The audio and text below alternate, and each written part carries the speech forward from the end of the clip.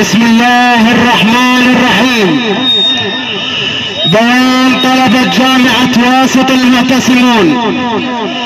بعد التوكل على الله نعلن عن رفعنا للقرار الصادر من هيئة الرأي في وزارة التعليم العالي باستئناف الدوام يوم غد الأحد الموافق 12 واحد 2020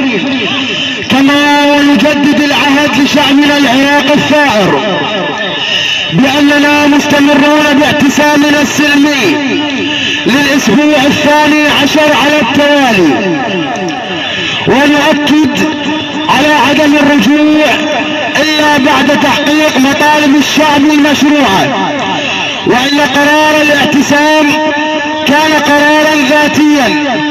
والرجوع عنه سيكون كذلك بإرادة الطلاب وحدهم وليس لهيئة الرأي فرض أي قرار على الطلبة.